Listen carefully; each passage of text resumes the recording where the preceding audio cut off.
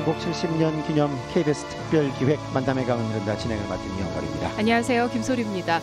예, 어제가 광복 70년 또 분단 70년이 되는 날이었습니다. 네. 그래서 오늘 그 의미를 다시금 되새기고 또 남북의 이산 가족이 다시 만나길 기원하는 그런 자리 마련했습니다. 네. 특별히 이 자리에는 통일준비위원회 정종욱 민간 부위원장님 모셨습니다. 안녕하세요. 먼저 이 광복 70년의 중요성 그리고 어떤 의미가 있다고 보시는지요? 네, 광복 70년의 역사는 대한민국이 여러 가지 어려운 악조건 속에서도 특히 전쟁의 폐허 속에서 일어나서 한강의 기적을 이루고 또 세계 경제 대국으로 우뚝 선 그런 기간입니다. 네. 그러나 남아있는 숙제 역시 적지 않습니다. 국민 통합을 이루어야 되고 또 완전한 광복을 이루어야 됩니다. 그걸 위해서 우리 다시 국민들이 결의를 다지는 그런 계기가 되기를 바람하지 않습니다. 네. 네, 말씀하신 대로 올해가 참 대한민국이 다시금 도약한다는 의미에서 또 한번 중요한 해이지 않나 싶습니다. 어, 오늘도 이 자리에 송혜 선생님도 모셨습니다. 안녕하세요. 아유, 네, 안녕하세요. 네, 아무래도 이산 가족이시고 하니까 요즘 같은 때면 고향 더 그리우시죠? 아이, 그러면요. 뭐 다 누구나 다 고향이 있고 또 고향이라는 건뭐 어머니 품속 다음에 그리운 데 아니겠습니까? 그렇죠. 그뭐 광복 행사다, 6.25다, 6.25 행사다 그러면은 정말 참 실향민들은 더 고향 생각이 나죠. 네. 어, 저는 고향이 저 황해도 재령이라고 하는 곳입니다. 네. 거기는 아시다시피 그 구월산이 있는데 그 구월산은 이게 유격대의 본부라고 그러지 않습니까? 네. 본거지다 그러는데 어, 제가 피난 나올 때 그 산에 에, 퇴각하지 못한 인민군 패잔병들이 한 3천 명 들어 있었어요. 네. 그래요. 근데 이 사람들 시간이 가니까 먹을 게 없으니까 저녁이면 토보를 나오죠. 아. 호적 불고 꽹가리 치고 나팔 불면서 나오면 젊은이 그 마을에 있던 젊은이들은 다 이제 핀신을 가야 돼요 또 아. 오면은 약탈하고 젊은이들 데려가니까 아. 네, 네. 뭐그 없애 없애겠죠 가면은 아, 그런데 그 그걸 한 대여섯 차례 했는데 그 다음에 또 호적 불고 나오니까 우리는 도망을 가야 되는데 어머니께서 툇마루에 이렇게 쓰셔서 어머니 다녀오겠습니다 그러니까 그 어머니께서 얘야 이번엔 조심해라 아. 아이 뭐 또 며칠 있으면 올 거려 뭐 이러고 네. 왔는데 네. 그게 마지막 이별이 됐어요. 어, 예. 그러셨구나. 당시 나이가 어떻게 되셨어요? 근데 뭐, 뭐 우리 청년단 모인 게 스물세에서 스물다섯까지 아, 네. 우리 청년 활동을 했으니까 네. 그렇게 됐을. 때입니다. 어. 아유, 고향이 이렇게 막 그리우실 때는 어떻게 달래세요, 선생님께서는?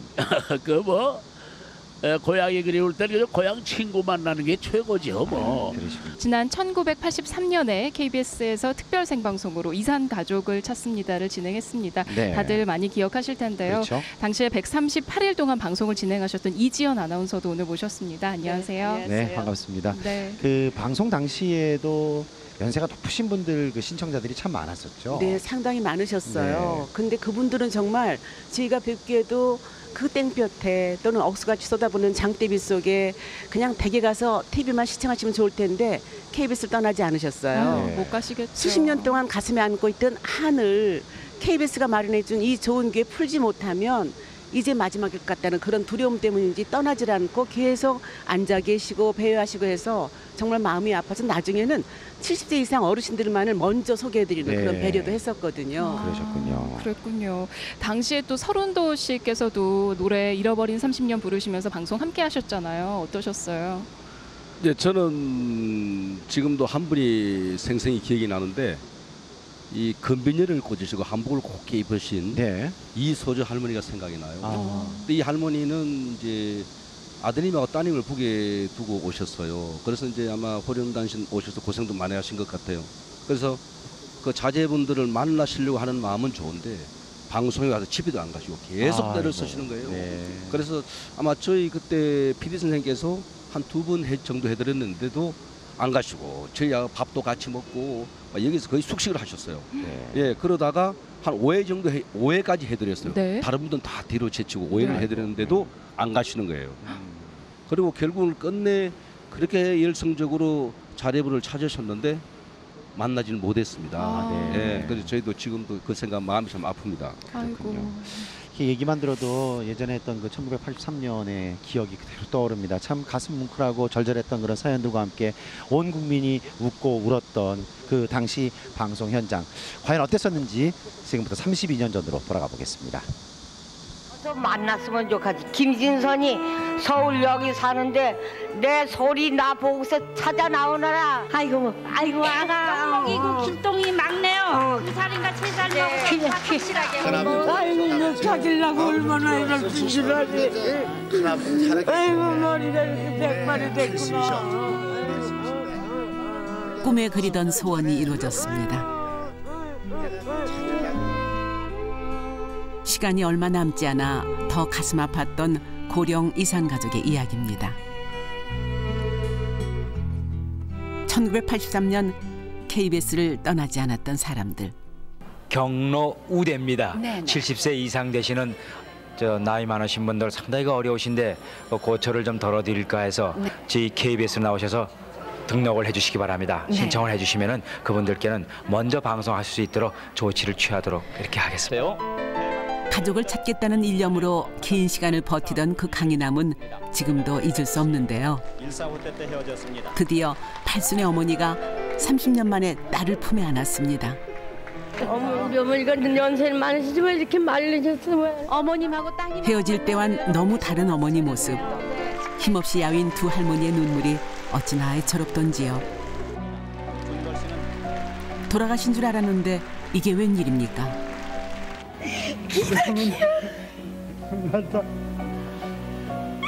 작은 아버지. 나는 그때 결혼만 예, 예.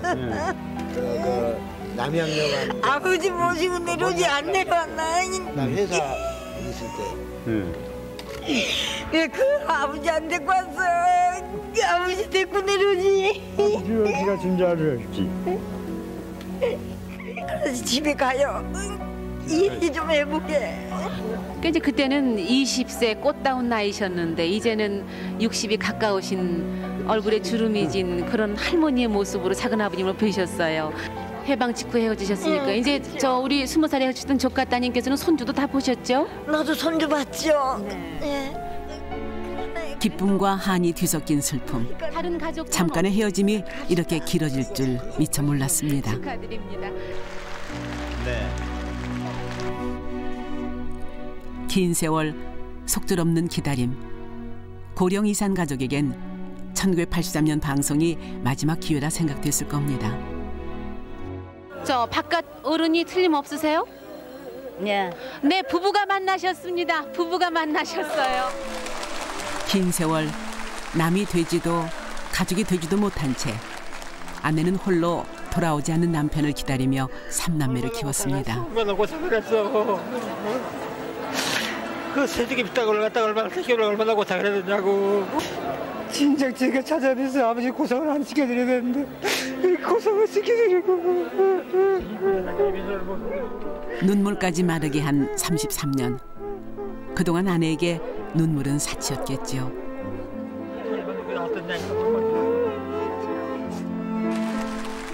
헤어질 때 다섯 살이던 아들은 장성한 청년이 돼서야 아버지께 큰 절을 올립니다. 세상 이렇게 이랬단 말이야. 빚까지 받고 나를 이렇게 다 키우고 그랬단 말이요. 아이고 세상에. 세상에 이렇게 이랬단 말이야. 고생한 아내를 어떻게든 위로하고 싶은 남편. 홀로 강인하게 버텨둔 아내에게 현장에 있던 저희도 한 마음으로 격려했던 생각이 납니다.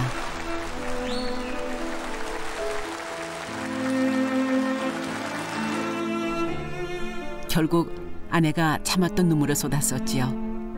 한많은 지난 세월 어떻게 보상받을 수 있을까요? 정말 한이 많으시겠어요. 한마음 사람이 이산 가족이 천만이 되었는데 나 하나뿐이게 그러면은 이렇게 온 가족을 다 잊어먹고 만난 사람도 한 몇안 될 겁니다. 그것도 33년 만에 이렇게 한꺼번에 만난 기쁨 다음에 또 제가 원색 쓰라린 고통보다도 또 기쁨도 큽니다. 오늘 제가 아주 뭐 어떤 나갈 것 같아요. 이제 줘도 한이 없습니다. 때론 모든 게 다 잊혀져 사진만이 가족을 확인할 유일한 방법이 되기도 했는데요. 그 아버지 이름이 누군가요? 아버지 이름은 박영실 씨예요. 또 그러면 어머님 이름은 누구세요? 어머님은 벤저자 쓰신다 그래요. 근데 이름은 잘 몰라요. 된조자라 보여요? 네, 성심한 된조자 쓰신다 그래요. 그러면 아닌데. 네? 어머님이 그전 사진을 가지고 나왔거든요. 어디 내놔보세요. 아버님 사진 옛날에 군대 가서 찍은 사진인가 봐요. 어디입니까? 지금 보세요. 아, 예, 긴데요. 틀림없습니까? 예. 네, 축하드립니다. 예, 거기서 그 찍은 사진입니다. 아이고, 그거 맞네. 그내 사진이 맞구만. 맞아요? 어, 그래, 지금 어디 살아요? 여보세요. 의정부요. 의정부, 있어요. 의정부 살아요? 네. 어, 그래, 그러면. 근데 여보세요. 예. 저기 김 아버지세요 이제. 네. 아버지라고 부르세요. 반면 너무 늦게 만난 가족도 있었습니다. 딱 한 번만이라도 볼 수 있다면 얼마나 좋았을까요? 엄마는 엄마는 6년 전에 돌아가셨어. 엄마 내한번 보고 돌아가시자. 내한번 보고 돌아가시자 엄마.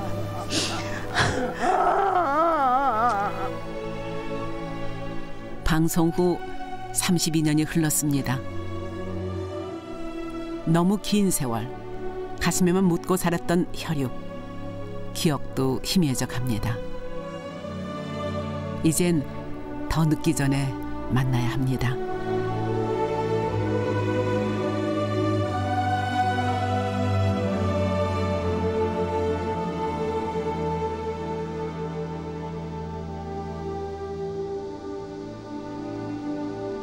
당시의 방송 화면을 지금 다시 봐도 이 가슴이 아려오고 코끝이 찡해오는 건 저만 그런 건 아니겠죠. 네. 네. 참 어느 가족 또 어떤 사연이 마음이 아프지 않겠느냐마는 특히나 부부 상봉은 더 마음이 아픕니다. 네. 당시 방송을 통해서 만 189명이 상봉을 했는데요. 그중에서 부부 상봉은 0.1% 13분이셨습니다. 네. 이지연 아나운서 그 화면에 나왔던 그 부부 기억나세요? 네.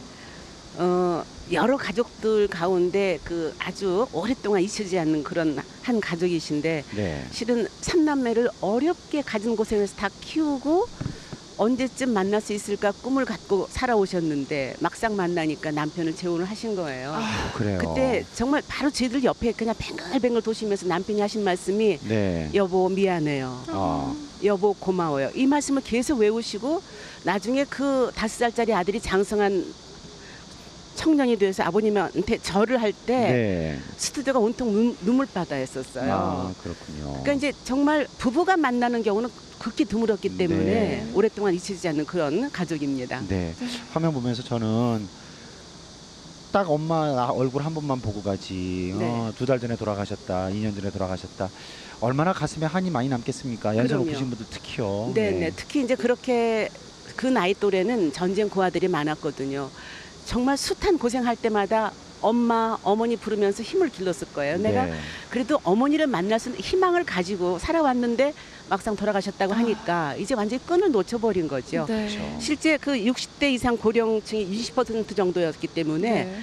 일부러 저희가 따로 시간을 앞당겨서 소개해드렸었거든요. 네. 그러다 보니까 그분들 가운데 정말 성함들이 뭐 끝순이, 뭐 갓난이, 네네. 뭐 이상한 이름도 많았기 때문에 그 당시에 또 그게 젊은 사람들한테 어린 사람한테 유행어이기도 했는데 네. 그 자신의 이름을 모르시기 때문에 그렇게 지내오신 분들이 많이 계셨어요. 네. 아, 당시에 또 서른도 씨께서도 계속 방송 함께 하셨으니까 방금 영상 보시고 또 많이 생각나시죠? 특히 저 같은 경우는 이제 그 스튜디오 방청석 쪽에서 노래를 많이 써서 불렀어요. 아, 네. 그럼 그분들이 이제 가족을 한 분이라도 찾겠다는 일념으로 그 사연판을 막길에 제 노래하는 쪽으로 카메라 쪽으로 막 이렇게 들이밀던 저도 기억나요. 네. 기억나시죠? 뒤쪽으로 계속 이렇게 막 올리시고 네. 예, 예, 예. 그런데 그렇게도 했지만 또 어떤 한 분은 어머님이 이제 돌아가시면서 여기 이제 이상가족 찾기 하시다가 너무 이제 연로하신 분인데 돌아가시면서 네. 이원이 너라도 빨리 나가서 가족을 찾아라 해서 그 따님께서 삼일장도 치르기 전에 아유. 나오셔서 그 사연판을 들고 울고 서 계시던 모습이 지금도 눈에 생생합니다. 네. 뭐 저도 이산 가족 아닙니까? 그렇죠. 그래도 저런 활동을 하고 있으니까 뭐 아는 가족이 뭐 찾아왔을 거라고 믿고 네. 그래도 여기 또 오지 않았나 싶어서 또 오는 거죠. 근데 뭐 사실 저는 여기서 이제 뭐 내가 신청도 안 했고 그러기 때문에 많은 분들이 순서를 기다리고 이제 또 그 누구 누구를 찾습니다. 뭐 이- 이걸 또 못 쓰고 있는 분들도 계세요. 네. 그래서 그것도 많이 써, 써드리고 그리고 뭐 새벽도 하고 밤을 새서도 그러니까 와서 찾지 못한 분들은 지쳐서 요 밑에 이렇게 보면 그 쥐- 쥐똥나무라고 있습니다. 낮은 거. 네, 네. 거기서 비닐을 쓰고 자고 막 그러는 거예요. 그 거기 새껴서 그 어디서 왔는데 이러느냐. 그럼 뭐 그 또 자기 사정 얘기를 하고 저도 부둥켜 안고 울고. 아이고. 근데 뭐 사실 그러다가 또 만난 고향 사람도 있고 그래요 제가. 네, 근데 뭐 저는 뭐 자질하는 얘기 뭐 보면 아니까 그랬었는데 그 만나는 장면을 보고 야 참 30년 후에 만났는데 그 7살 9살 그랬다고 그래요. 뭐 하면은 뭐 다 못 내니까요. 근데 7살짜리 9살짜리였는데 만났어. 어, 대보더니 언니야 나, 나 나야 그러더니 언니 야속해 미워 그러더니 나 저 저기 오줌 누구 온다 그랬는데 왜 그새 갔어 그러고 말이야. 아이고. 그러고 막 우는 거야. 그러니 뭐 그때 그 난리판에 뭐 어디 가서 화장실에 간 거 기다릴 수 있어요. 그렇죠. 런 네. 수라장이었죠 그때 뭐. 네. 예. 사실 그 저희 같이 이산 가족이 아닌 사람들이 이렇게 함께 화면을 보면 눈물이 나고 가슴이 아프고 한데 이산 가족분들은 오죽하시겠습니까? 그러게요. 어, 통일이 되면 제일 좋겠지만 일단 가까이 다가온 추석에 정말 많은 분들이 좀 가족을 만날 수 있었으면 좋겠습니다. 그러게 말입니다. 네. 어, 오늘 이 KBS 당시에 이산 가족을 찾습니다를 가장 가까이에서 지켜보신 분들과 방송하고 있는데요. 어, 당시에 방송을 통해서 만 189건의 상봉이 이루어졌는데요. 그리고 방송 기간은 장장 138일이나 됐고요. 그 중에서 뭔가 가장 보람찼던 순간 이런 걸 꼽으신다면 어떤 게 있으세요, 이지연 네, 아나운서? 아까 화면에도 잠깐 나왔지만은 방송 마지막 날 까만 두루마기 입으신 한 어르신이 스튜디오에서 생방송 중에 그냥 스튜디오 바닥에 머리를 숙이시면서 저희 두 사람한테 진행자한테 큰 절을 하시는 거예요. 저는 아들을 찾지 못했지만 두 분 정말 고생하셨습니다. 네. KBS 정말 감사합니다. 절을 하시는데 그때 저희가 드린 말씀이 KBS는 결코 오늘 방송은 마무리하지만 이산 가족들의 아픔을 잊지 않고 네. 계속 노력하겠습니다라고 말씀을 드렸었어요. 저희 진행했던 유철중 선생님이나 전화 다 이산 가족이기 때문에 그분들 마음이 지금 방송 마무리할 때 이 마음이 어떤 마음이실까 충분히 이해가 갔었거든요. 아, 네. 그러셨군요. 아, 자, 이번에는요, 당시에 이 방송을 함께 했던 분들 중에서 아주 특별한 분의 시선으로 당시를 다시금 돌아보는 시간 마련했습니다. 영상 만나보시죠.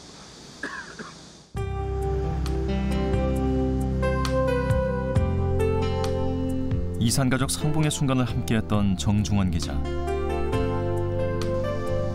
방송 현장 어디에나 그가 있었습니다. 우리는 뭐 거의 요 입구 쪽에 이런 쪽에 앉았거나 여기 아마 2층 맨 앞줄이나 뭐 이런 쪽에 앉았어요. 그러니까 이 누가 만나면 제일 빨리 그 저기 가서 접근해서 얘기를 듣거나 사진을 찍어야 되니까 굉장히 그 가까운 쪽에 그 서 있었고 이거 정말 병이냐 삼키냐 네가 정말 야 너 정말 순하냐 그리고 병원에 입원했던 거 병원에 생각나요? 입원했었어요 맞아요. 네. 그러면 맞아요.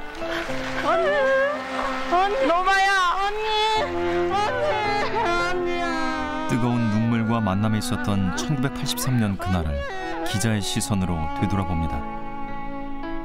33년이 지나도록 생사를 알 길 없어서 꿈에도 그리던 가족들을 혹시나 만날까 하는 마음으로 오늘 많은 분이 자리를 해주셨는데요. 이산 가족 찾기는 애초에 2회로 기획된 방송이었기 때문에 특별한 기사거리는 아니었습니다. 내가 아는 분인데 방송 담당 기자를 제가 했었는데 어, 미리 프로그램을 다 그 신문에 예고하는 걸 제가 맡는 역할이에요.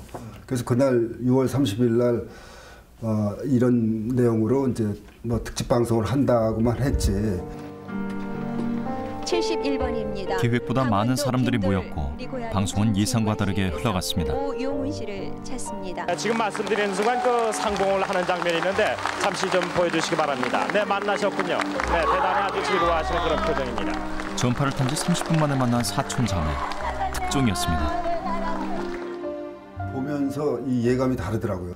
이산 가족이 서로 만나고 뭐 이름을 부르고 또 이렇게 서로 이 그 맺어주고 하는 그런 프로그램 그 포맷 자체도 아주 신기했지만 실제로 드라마 이상의 감동을 그 즉시 전달하기 때문에 지금은 7월이에요.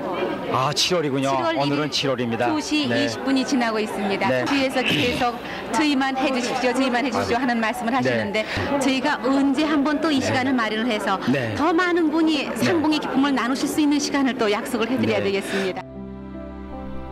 첫 방송이 나가고 이산 가족들의 문의는 빗발쳤고 급한 마음에 수천 명의 사람들이 무작정 방송국으로 달려왔습니다. 이산 가족을 천만이라고 우리가 얘기를 했었는데 천만 명의 관심사를 뇌관을 KBS가 건드린 거죠. 이산 가족 방송은 우리 모두의 이야기였습니다. 외면해왔던 전쟁의 상처가 드러나자 전 국민의 감정이 터져 나왔고 이산 가족 찾기는 큰 공감을 불러일으켰습니다. 아이 발, 발 이발 가지고도 여지 살았어요. 어떻게 생겼어요? 원 이런 세상에. 걸음을 못 걷는 건 이번에 수많은 사연이 오고 가던 상봉 현장은 취재 열기로 더욱 뜨거워졌고 각종 언론 매체 지면은 이산 가족 기사로 채워졌습니다. 갖가지 사연을 담은 기사는 방송을 보며 느꼈던 감동을 다시 떠오르게 했습니다.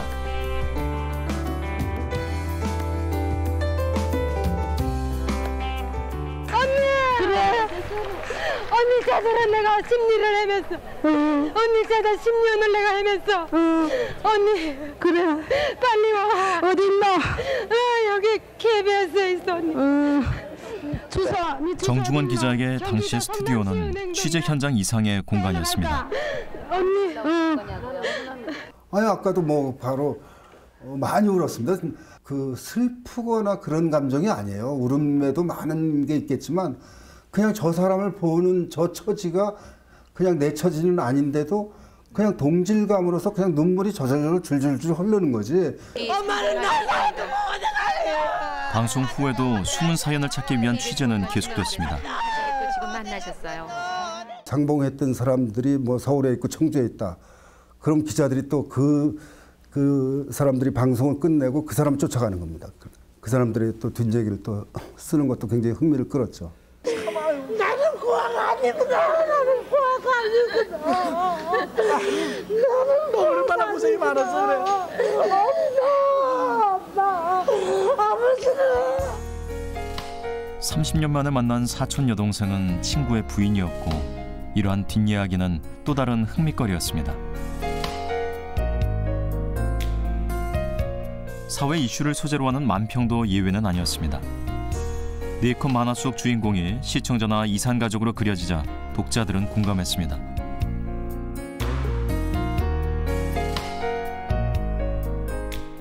(27년간) 시사 만화를 그린 이홍 화백의 만평 주제도 이산 가족 방송이었습니다.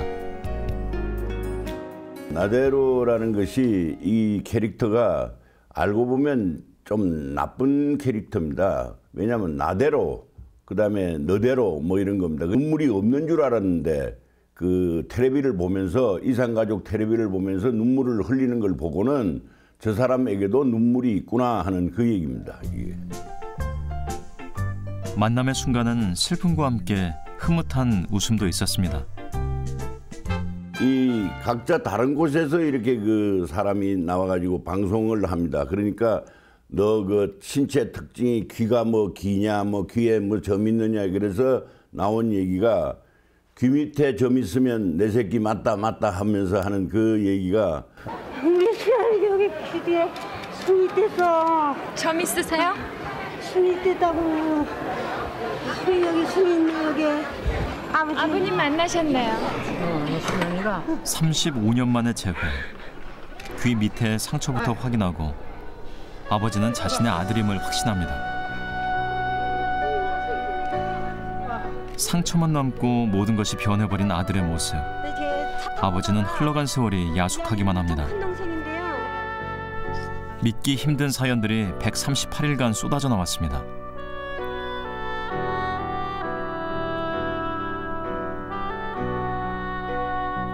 특히나 여의도 광장은 사연의 광장이기도 했습니다. 이 광경을 지켜본 정중원 기자는 여의도 광장이 민족의 마당이 됐다고 말합니다. 수천 명이 모인 그런 그, 그 하나의 광장에서 이렇게 누가 아무도 시키거나 지시하지 않았는데 자발적으로 그런 그 온정들이 서로 그 오고 가는 것 이것이 가장 컸던 그 뒤에 그 수학이 아니었을까. 타인의 벽보를 소중히 여기고 사연을 대필해주고 아무 대가 없이 이산 가족을 도왔던 수많은 사람들. 온갖 이야기가 섞여 복잡한 와중에도 질서와 조화가 있었던 곳 바로 만남의 광장이었습니다. 방송이 가지고 있는 그 가장 큰 영향력을 가지고 가장 좋은 일에 가장 적절하게 또 가장 끈질기고 지속적으로 KBS가 해냈다는 것에 그때는 전 정말 박수를 보냈습니다. 1983년 그날 우리는 작은 화면에 담긴 이산의 아픔과 재회의 기쁨을 봤고 32년이 지난 지금도 그때의 감동은 가슴 속에 남아 있습니다.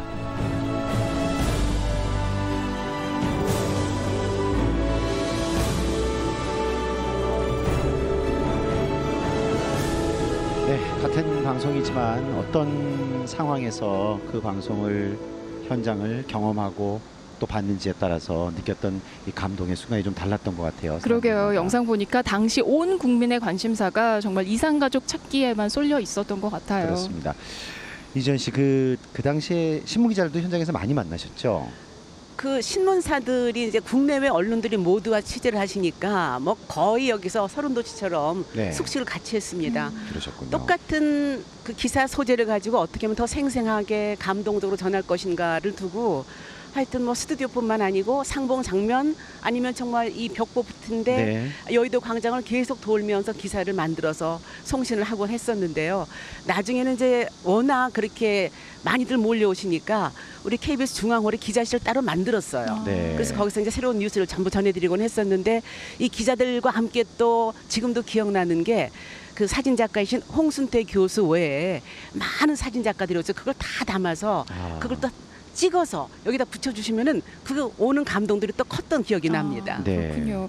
그 지금 화면을 보니까요. 그 특히 만남의 광장을 통해서 취재한 기사가 많았던 것 같습니다. 네. 저 때는 그 사실 뭐 만남의 광장이 사연의 광장이라 할 정도로 구구절절한 참 사연을 담긴 기사들이 많이 쏟아져 나왔는데 특종이 많이 나왔고요. 그리고 네. 저 때는 신문이 무지하게 잘 팔렸습니다. 왜냐하면 이상가족 분들이 그냥 가족 찾겠다는 일념으로 네. 그럼 뭐 신문이 잡한데 신문이 없을 정도로 네. 많이 했고 그다음 뭐 기자분들도 그때는 아마 여기서 거의 동고동락을 같이 하셨을걸요. 한 분 한 분을 그 소중한 기사를 다 소중히 다뤄서 한 분이라도 만나게 해드리려고 했던 그 눈빛이 지금도 눈에 선합니다. 네.